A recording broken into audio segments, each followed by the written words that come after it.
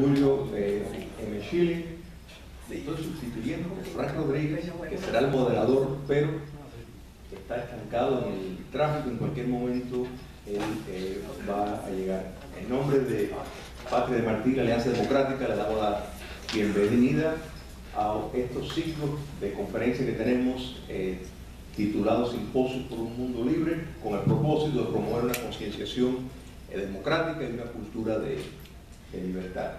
Le damos las gracias, sobre todo en el, día este, con un, un, clima tan impredecible realmente, y el tráfico y, todas las otras cosas.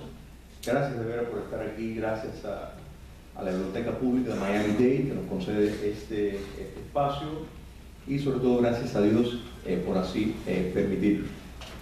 Eh, el lema de esta noche lo que vamos a tratar es la visita eh, papal a Cuba, evangelización o complicidad.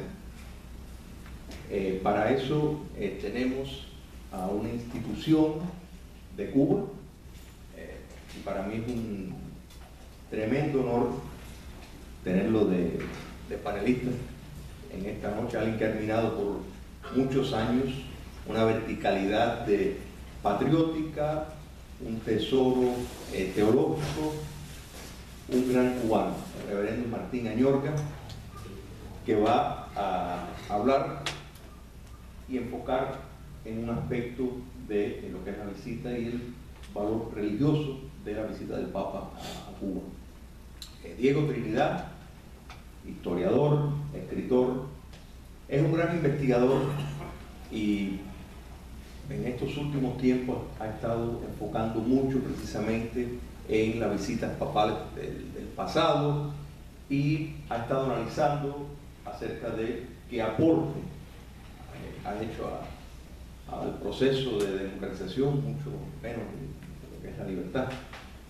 Este humilde servidor, que bueno, yo no debería estar aquí ahora, pero eh, voy a estar hablando de la posibilidad de que un viaje papal pueda, en un régimen impío, que pueda tener ningún tipo de, éxito o ni siquiera eh, validez eh, teológico o, moral.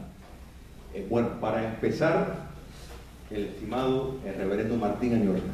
Muchas gracias.